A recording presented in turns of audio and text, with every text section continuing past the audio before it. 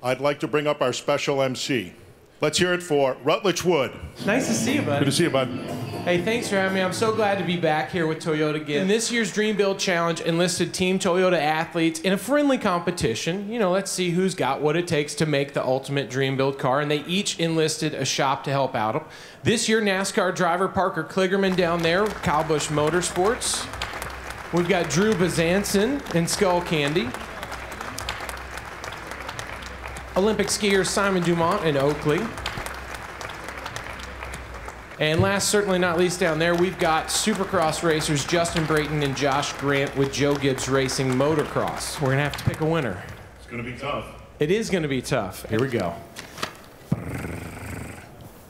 And the winner is Team Joe Gibbs Racing Motocross with the Let's Go Moto Tundra. Come on up, fellas. Come on up here, guys. Coy, Hey, way to go. Congrats. Yeah, brother. nice How job, about guys. that? Congratulations. How cool is Well that? done. Now, here's a trophy. Nice. We've got this huge thing for you. On, Thomas. Thomas. Oh yeah, check that out. There you go, you guys. Nice work. Congratulations. Nice job, guys. Congratulations.